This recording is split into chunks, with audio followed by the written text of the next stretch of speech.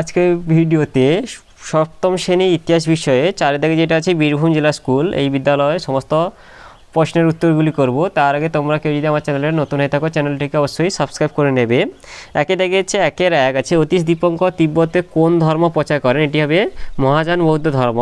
দুই যেটা আছে সুবা কথার অর্থ সুবা কথার অর্থ হলো প্রদেশ। তিন হচ্ছে বাংলাদেশ কখন স্বাধীন দেশে পরিণত হয়? এই উত্তরটি হবে উনিশশো একাত্তর সালে। চারে আছে, ভাগীরথী ও করতোয়া নদীর মধ্যবর্তী এলাকা আগে কী নামে পরিচিত? এটি হবে বরেন্দ্র। পাঁচ, চারি, পাঁচে আছে যেটা রামচরিত গ্রন্থের লেখকে সন্ধ্যাকর নন্দী ছয় হচ্ছে নালন্দার কে বৌদ্ধ বিহার নির্মাণ করেন? এটা প্রথম কুমার গুপ্ত। দুই এটা আছে, দুই থেকে একে আছে। সকলোত্তর পথনাথ, কার উপাধি? এটা হচ্ছে হর্ষবর্ধনের দুই থেকে দুই আছে, বঙ্গ কথাটি প্রথম উল্লেখ। কোন বিষয়, বিশেষ গ্রন্থতে পাওয়া যায়? এটা হচ্ছে ঐতিহ্য আরণ্যক। তিনি আছে হিজরি সাল গণনা করা, গণনা কত খ্রিস্টাব্দ থেকে শুরু হয়? এটা হচ্ছে ছশো বাইশ খ্রিস্টাব্দ থেকে। চারে আছে, কোন খলিফার আমলে ভারতে প্রথম মুসলিম আক্রমণ হয়?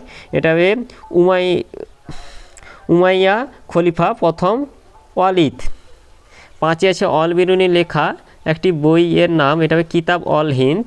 ছয় আছে রাজা লক্ষণ সেন কত সালে মারা যান? বারোশো ছয় খ্রিস্টাব্দে। সাথে আছে আহ, উমাইয়ার উমাইয়ারা কোন দেশে থেকে হচ্ছে খিলাফত প্রতিষ্ঠা করেছিলেন? এটা হবে স্পেন পর্তুগাল চীন ও ভারতের সিন্ধু প্রদেশ থেকে। তিনের দাগে তিনের দাগের একে আছে বাংলার প্রথম সার্বভৌম রাজা ও গণতান্ত্রিক রাজাদের নাম লেখা এটা হবে শশাঙ্ক। তিনে থেকে দুই যেটা আছে মাপছনা বলতে বাংলাদেশে কোন অবস্থাকে বোঝানো হয়েছে?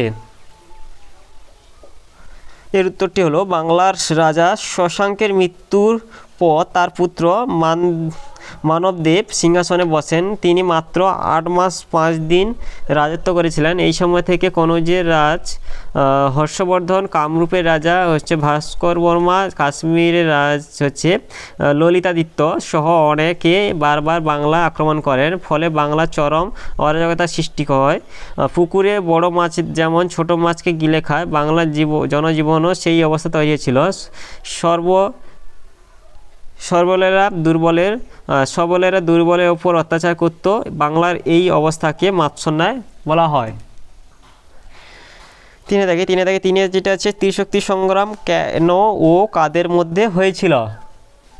এর উত্তরটি হলো প্রাচীন ভারতে ত্রিশক্তি সংগ্রাম সংগ্রামে তিনটি শক্তি হলো বাংলার পাল, পশ্চিমে ভারতে গুজ্জপ্রতিহার এবং দক্ষিণ ভারতে রাষ্ট্রকূট। এই তিনটি রাজ্যের মধ্যে ত্রিশক্তি সংগ্রাম হয়েছিল। এর কারণ হলো কনৌজ দখলের জন্য পাল গুজ্জপ্রতিহার এবং রাষ্ট্রকূট বংশের রাজাদের মধ্যে ত্রিশক্তি সংগ্রাম হয়েছিল।